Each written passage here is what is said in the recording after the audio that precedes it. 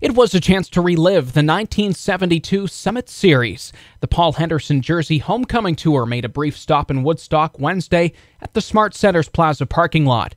Field manager Rob Whiten says this display is garnering all kinds of positive reaction.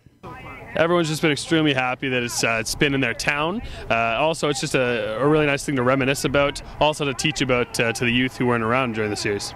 The trailer is filled with Summit Series memorabilia, including the jersey worn by Paul Henderson when he scored what may be the most significant goal in Canadian hockey history. Local resident Hans Stickwerda came away impressed with his tour.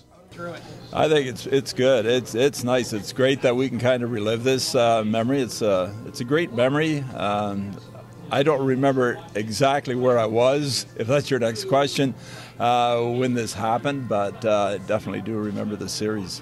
Whiten says even for those who weren't born when Henderson was flying through the air, the tour is a history lesson kids will pay attention to. They're starting to. Uh, they're starting to. We, we explain it by trying to use examples like the Sidney Crosby goal, how important it was to Canada, and almost magnifying that by 10. At the, at the time, it was a lot different politically around Canada and the world. So um, the youth is starting to get it. I think uh, once they come into the trailer, spend about 20 minutes in there really reading and watching the videos and seeing how important it was to, their, to the older generation, they start to get it a lot more. If you missed it, the Paul Henderson Jersey Homecoming Tour continues with 54 more stops across Canada. Adam Nip, Heart FM News. All right. Looks good, Blair. All right, man. No, oh no. My face got right through, right?